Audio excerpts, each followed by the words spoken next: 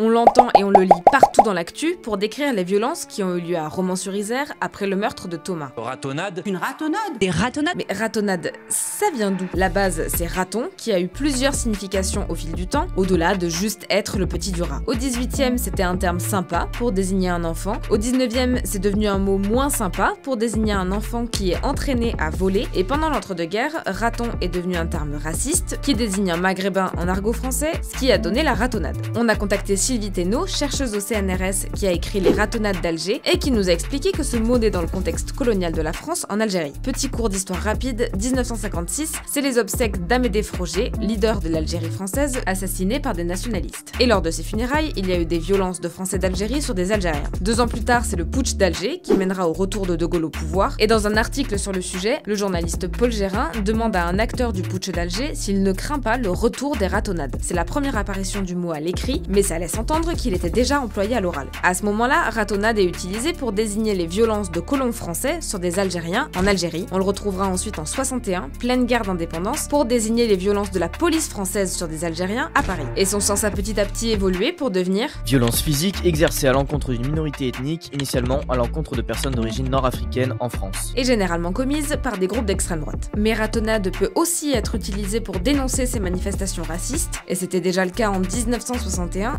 dans le livre Ratonnade à Paris de Paulette Préju. C'est pour ça qu'il est utilisé par des personnalités politiques de gauche pour condamner ces événements. Par exemple, pendant la Coupe du Monde 2022, Marine Tondelier et Mathilde Panot parlaient de Ratonnade pour désigner les violences contre des supporters marocains dans plusieurs villes françaises après le match France-Maroc. Ou plus récemment, pour qualifier la descente de groupes d'extrême droite à Romans-sur-Isère, venus venger la mort de Thomas, 16 ans, tué après le bal de Crépole.